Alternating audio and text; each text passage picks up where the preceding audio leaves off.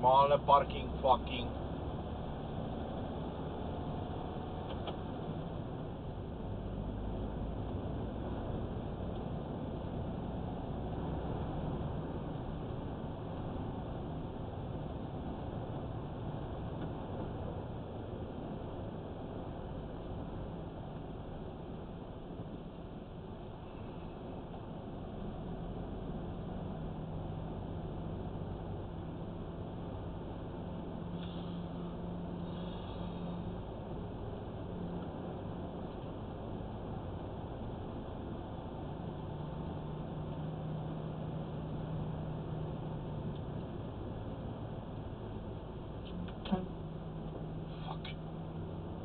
Sa jooksed mulle alla ka veel raissi.